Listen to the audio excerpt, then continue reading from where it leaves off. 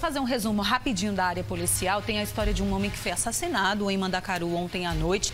De acordo com a polícia militar, esse crime pode ter, olha só, relação com briga de facções. Olha que grave. Vê reportagem na tela. Nós temos vários registros aqui nessa divisa de Mandacaru com Salinas Ribamar. Vários crimes já foram constatados aqui. Esperamos que a Polícia Civil consiga identificar quem cometeu esse crime de agora início da noite desta quinta-feira.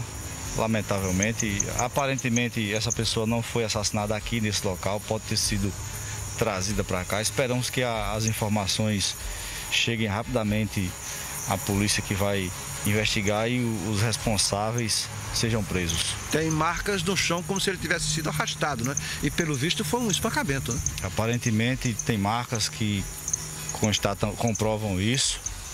Uh, ninguém aqui sabe de quem se trata.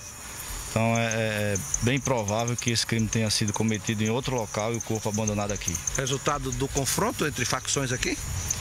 Pode ter sido, nós já tivemos alguns incidentes dessa natureza, vários indivíduos efetuando disparos uns contra os outros aqui, inclusive numa situação recente a polícia militar interveio e terminou neutralizando um desses indivíduos que estava armado com a espingarda calibre 12.